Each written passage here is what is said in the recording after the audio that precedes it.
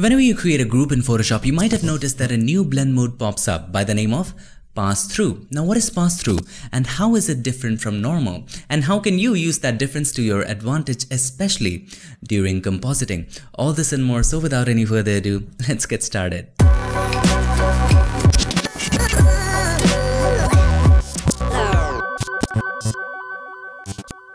So here we are in Photoshop and if you want to download any other photos shown in the video, make sure to go ahead and check the links in the description. So first of all, let me actually show you what it actually is. Alright, so let's go ahead and create a curves adjustment layer.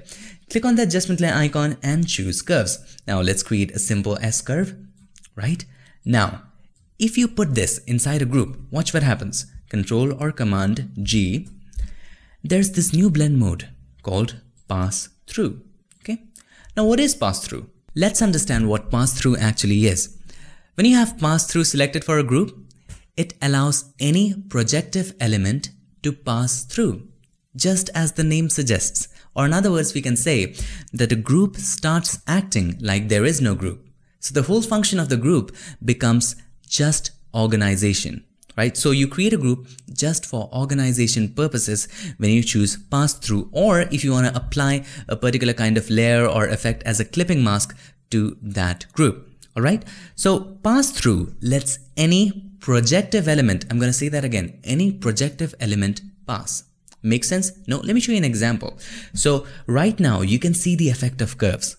Even though the curves is inside a group, you can see the effect of curves on this image which is outside the group. Now if you select the group and change the blend mode of this one to normal, have a look what happens. You cannot see the effect of the curve outside of the group. And that's what normal is. So when you have a group with normal blend mode selected, it doesn't let any projective element pass. The layers are still there right? If you go ahead and create a new layer and just try to paint over there, you can still see it. The layers are still there because it's not projective. It just stops the travel of projective elements. Now you might ask, what is projective oh. element? Well, projective element can be anything. It can be adjustment layers. It can also be blend modes, anything which is projective and is affecting any layer that is beneath it is a projective element. Let's go ahead and delete these two and let's create a simple solid color adjustment layer. All right. And let's fill it with red. And let's change the blend mode of this one to overlay. All right. Now, as you can see, no effect. If we select the group, change the blend mode from normal to pass through, we can see the effect of overlay. We can see the effect of overlay getting through. If there was no group, the effect would be like that. So it starts acting like there is no group. So when you have a group with normal, one more statement. When you have a group with normal selected, it starts to act as if it was merged. Let me make it sense for you. So if we go ahead and create a new layer and probably decrease the opacity of this one, okay? Decrease the opacity of this one. The blend mode is still overlay and then take it up and in this layer we paint in with some different colors, say green and you'll see the effect of overlay over there, right? Uh, probably dark green and shades of green like that. I'm just randomly doing stuff, all right? The effect of overlay, as you can see, if we choose normal, is just on this one, but the opacity is on the background layer as well, right? So opacity we can say is not projective, but blend modes are.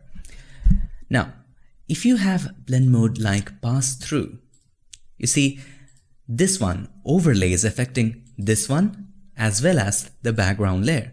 But when you have normal selected, it just affects that one. In other words, we can say, let's change this to pass through. If we merge this group, select the group, press Ctrl or Command E, look, it returns to as it was when the blend mode was normal. Right? So we can say that when you have normal selected as a blend mode for a group, it acts as if it's merged or in other words, a Photoshop document of its own. Now let me give you some real world example of this, of how this can be useful, especially in compositing. So here we have an example. I've created a simple composite very quickly. Let me show you the construction first and then we'll discuss the groups. Okay, so this was the background.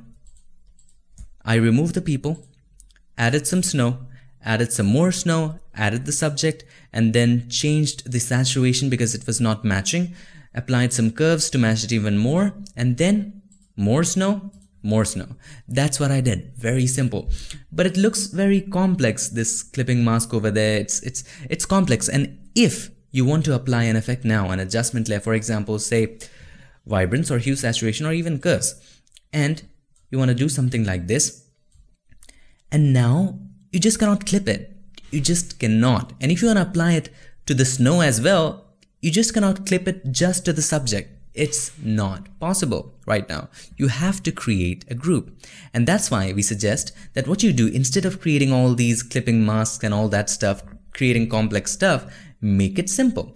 Make a group of all of this. Okay, select all of them. What I did was select the first one and then hold the shift and select the last one that you want to select. Everything in the row will be selected automatically. Then press Ctrl or Command G so we created the group. Now change the blend mode of this one from pass through to normal. Now everything that you see inside the group will be limited to the subject because it acts as if it is merged or it is its own Photoshop document. Isn't that exciting? Now you can turn this off, turn this off, do whatever you want. You can also go ahead and remove this clipping mask. So uh, hold the alter option and just click on the line between them, remove them. So it's, it's good. You can apply them. You don't have to worry about clipping masks and stuff. You can do anything you want. Decrease the saturation, increase the saturation. It is limited to that group. So the moral of the story is whenever you're creating a composite and you have different elements, what you can do, you can create groups for separate elements and have all the adjustments particular to that element inside of that group. Alright, and change the blend mode of that group to normal. When you do that, any adjustment, blend mode and all that stuff will be limited to that group of that element. So you don't have to create those complex clipping masks and all that stuff all the time, right? It will make your work much more easier. I hope this video made sense to you and if it did, please consider sharing and also like the video if you liked it and don't forget to subscribe and not just subscribe, ring the bell so that you my friend don't miss a thing. I would take this awesome moment to thank all these nice people for making this episode possible and making Piximperfect free for everybody forever. Thank you so much guys for joining in. I'll see you guys in my next one. Till then, stay tuned and make sure that you keep creating.